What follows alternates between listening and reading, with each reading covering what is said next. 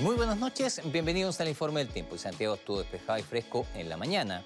La capital presenta a esta hora 21 grados con un 42% de humedad. La mínima fue 10 grados en el centro de Santiago y en Huechuraba.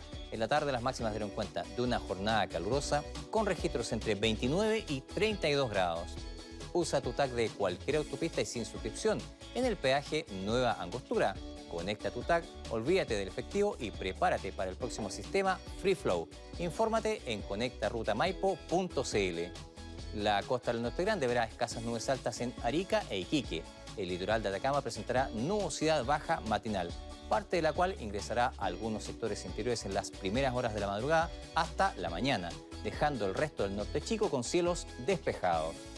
La costa central continuará soleada y templada en la tarde con máxima en Valparaíso de 21 grados. En los valles estará despejado con máximas entre 29 y 30 grados. Ñuble y Biobío recibirán chubascos débiles al final de la jornada, excepto Chillán que tendrá buen tiempo.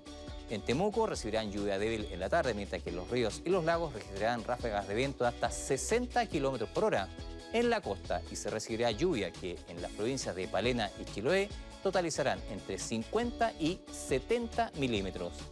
En la zona austral, Aysén recibirá lluvia que podría totalizar entre 30 y 40 milímetros, mientras que en Magallanes, entre nubes y sol, las máximas no pasan de 8 grados.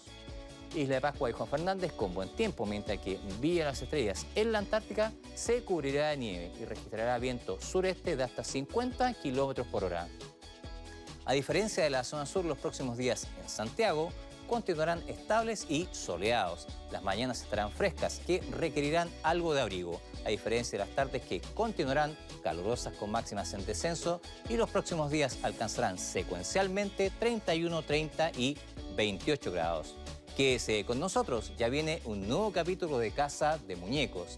Y les recordamos que a partir de las 22 horas Mega está autorizado a transmitir programación para mayores de 18 años y lo dejo cordialmente invitado a visitar nuestro sitio web ahora Muy buenas noches, que descanse.